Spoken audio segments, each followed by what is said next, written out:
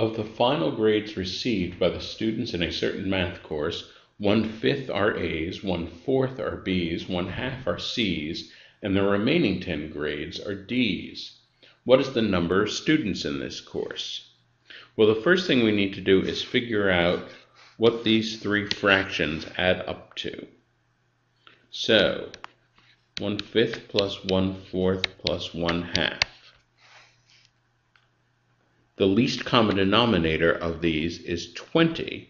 So I'm going to multiply the 5, 1 fifth by 4 over 4. I'm going to multiply the 1 fourth by 5 over 5 and multiply the 1 half by 10 over 10.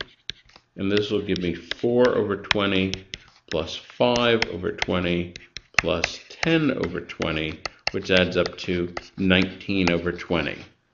So when we're talking about the A's, B's, and C's, that is 19 twentieths of the class. That means that the D's, the remaining D's, these must be 1 20th of the class. Well, 1 20th of the entire class equals 10 people, then this means that there are 200 people in the class. And this is answer choice D.